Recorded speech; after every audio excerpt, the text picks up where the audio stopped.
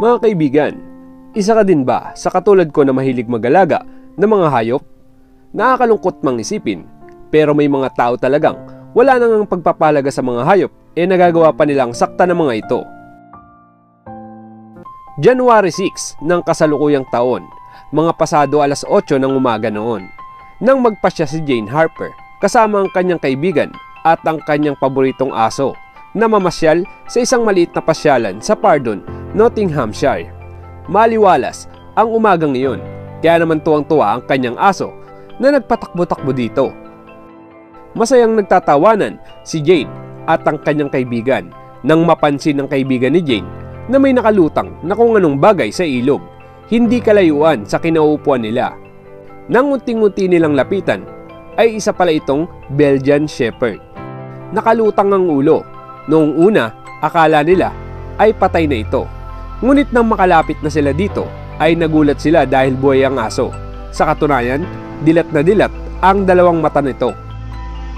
Mababakas din ang sobrang pagod at hirap sa itsura nito nang makita sila ng aso, ay nakita ni Jane na pilit nitong kinikilos ang katawan.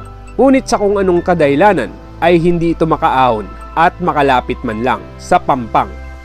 Maya-maya ay nagulat si Jane nang unti-unting lumulubog ang ulo ng aso. Dahil dito, hindi nagdalawang isip si Jane na tumalon sa ilog. Ramdam ni Jane ang biglang pangangatog ng katawan niya dulot ng sobrang lamig ng tubig sa ilog. Ngunit hindi niya ito pinansin mabilis siyang lumangoy papunta sa aso at agad itong nirescue. Sisinghap-singhap pa ang aso nang kargay niya. Bubuelta na sana siya pabalik ng pampang ngunit hindi sila makaalis sa kanilang kinaroroonan. Dito napansin ni Jane na may nakatali sa paa nito ng kanyang sipatin sa bandang ilalim ay nakita niyang isang malaking bag ang nakatali pala sa paa nito. Ito pala ang dahilan kung bakit hindi makalangoy ang aso kanina at kung bakit hindi ito makaalis sa pwesto niya. Palaisipan kay Jane kung ano ang laman ng malaking bag na ito. Kahit may kalabuan ang tubig sa ilog, ay sinikap pa din ni Jane na alamin kung ano ang nasa loob ng bag. Pakapaka pa niya itong hinawakan at pinilit buksan. At nang mabuksan niya ang bag ay sobra siyang nagulat. Paano kasi ay isang malaking bato ang laman ng malaking bag na nakatali sa aso. Napamura na si Jane sa kanyang isipan. Kung sino man ang may gawa nito, ay titiyakin niyang mapaparusahan siya. Isang krimen ang pagpatay sa tao. Ngunit may ituturing na isa ding krimen ang pagpatay sa kaawawang hayop. Walang awang tinapon ng aso sa ilog na may nakataling malaking bato sa paa upang sadya itong lunurin. Walang puso ang gumawa nito. Naiiyak na niyakap ni Jane ang aso. Sobrang awa ang naramdaman niya para dito. Imagine, ang hirap ng dinanas nito para makasurvive lamang. Maaari din nitong mamatay dulot ng hypothermia. Walang idea si Jane kung gaano nakatagal ang aso sa ilog. Ngunit malaking pasasalamat niya at nadatnan pa nila ito ng buhay at nailigtas. Agad namang rumesponde ang pulis na tinawagan ni Jane. Dali-dali nilang dinala ang aso sa veterinarian upang matingnan ang kalagayan ng aso. Sa investigasyon, nalaman ng pagkakakilanlan ng aso sa pamamagitan ng microchip na naka-implant sa katawan nito. Ang pangalan ng aso ay Bella. Si Bella ay rehistrado na simula pa noong 2010. Ibig sabihin, si Bella ay nasa 10 taong gulang na. Nalaman din ng isang nagngangalang Charlene Latham ang nagmamayari kay Bella. Agad na dinakip si Charlene at hindi naman niya itinanggi. Bagkus, inamin pa nito, sinadya niya itong gawin kay Bella para lunurin. Hindi niya inamin sa korte ang kanyang tunay na motibo sa paggawa nito kay Bella.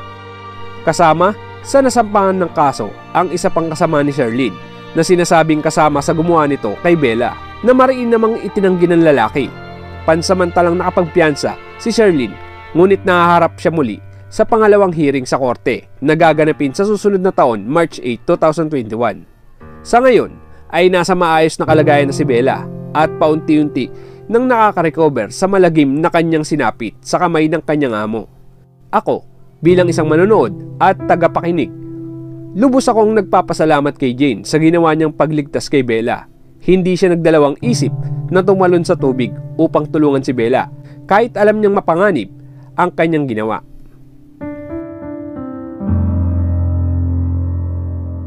Dahil sa iyong ginawang aksyon, para sa akin, isa kang tunay na bayani Jane.